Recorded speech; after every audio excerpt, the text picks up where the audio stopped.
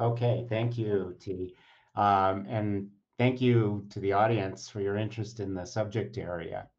Um, so let's imagine that you're an astronaut and you're landing on the surface of Mars and you start to open that hatch. And the question is, are you walking into the abyss or do you actually know what the environment is like that you're going to be entering? And on account of uh, many uh, missions to Mars, including the rovers as well as um, spaceships uh, cir circumnavigating the planet, we actually know a lot about the environment on Mars. And what we can say is the, that the atmosphere really cannot support aerobic life. Uh, it's a very carbon rich atmosphere. It's 95% carbon dioxide, but it only has 1% of the Earth's pressure. And what that practically means is that water will boil at body temperature. And so if you were to walk outside without a spacesuit, you would boil immediately. Not a good idea. We also know that there's plenty of water on Mars. It's no longer visible on the surface of Mars, but deeply buried in, uh, in sediments and in the soil. Uh, we also know there are polar ice caps uh, and transient glaciers on Mars, but it's been estimated that if that water were actually liquid, it would cover the surface of Mars to a depth of 35 feet. So there's plenty of water that would be available for life. Solar radiation is, is another interesting issue. Uh, the intensity of the light from the sun on the Mars surface is about 60% of that, that on the Earth, uh, actually. And that's sufficient to support photosynthesis and at rates of photosynthesis that would actually allow you to grow plants and other photosynthetic organisms. The challenge, however, is that there is no ozone layer in the atmosphere, nor magnetic field to shield the planet from ionizing radiation. And so there is a tremendous amount of ionizing radiation that could be damaging to living organisms, and that would have to be managed as well.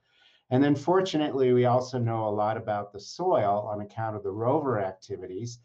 Um, it's largely of basaltic origin. The mineral compositions are similar to Earth. Uh, there is the presence of perchlorate, which is an oxidant, which could be a challenge, but the mineral composition is sufficient to grow plants. If we can go to the next slide. So the next slide is, is two scenarios uh, for the Martian ecosystem. Uh, many of you may be familiar with the Martian movie. Uh, and this uh, particular scene on the left is Matt Damon growing his famous potato field uh, in his uh, Mars colony after he's been abandoned on the surface of Mars.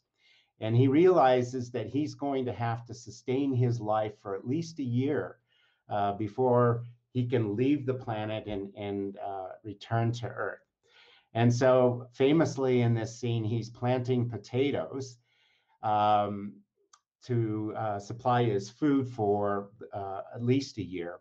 And if you do some quick calculations on, on how many potato plants would be necessary to sustain uh, one human for one year, it would be a field that's about 220 meters squared. And that's assuming that you would get two potato crops per year. So there's no seasons in this uh, enclosed environment. Um, if you sort of eyeball the size of this picture, what Matt has actually planted is probably about half the number of potatoes he really needs. But there's some other important elements that we need to consider for agriculture on Mars. And those are elemental uh, issues. And by elemental, I mean elements such as nitrogen. So nitrogen recycling is going to be a critical element in agriculture uh, on the planet Mars. Um, we also have to be concerned about risk. Any crop that has only two uh, production periods per year is a risky system. Um, we have to wait three to six months for each crop to develop to the point where it can be harvested. And then finally, potatoes, maybe not the best choice. They're largely starch, low in protein, low in lipids. And if we're going to take that biomaterial and perhaps transform it into other bioproducts that may be useful for sustained life on Mars, using starting with starch, unless it's processed through fermentation, which I believe Lahiru would talk about, uh, is going to limit the number of products that can be generated from a potato cr crop. So the alternative, which is the area that I work in, is algae. And algae actually have a photosynthetic efficiency that's about five times better than crop plants. And so a much smaller surface area would be required to grow algae that would provide sufficient energy, calories, protein, and lipids uh, to support a single person. It's about fivefold smaller uh, than that would be required if you were to grow a crop plant.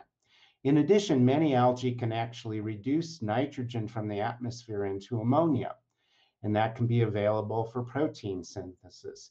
So that allows us to have a circular economy or circular biology uh, around uh, the conservation of elements such as nitrogen. And algae are robust. They can be harvested 24 7. They recycle, we can recycle the water and the nutrients. And very importantly, if the crop fails, it's very easy to restart. And it could be back up in a matter of days. So that reduces the risk. And then finally, the last point I'll touch on is that algae biomass is actually an ideal feedstock for hydrocarbon-based biomaterials. In many of the studies that I've been involved in, in with the Department of Energy, we've demonstrated we can produce a biocrude from algal biomass that has the same chemical properties as petroleum, which of course is a feedstock for many of the plastics and other materials that we consume on Earth. So the question is, is can it work? Can we actually live on the surface of Mars? And if we manage uh, and account for all the mass and energy and the issues around ionizing radiation, I think the answer is probably we can.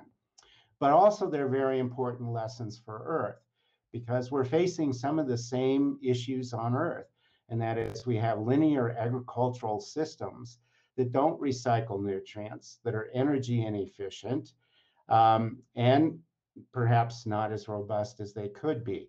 So I think the lessons that we learned from uh, developing agricultural systems on Mars can actually have applications for the Earth.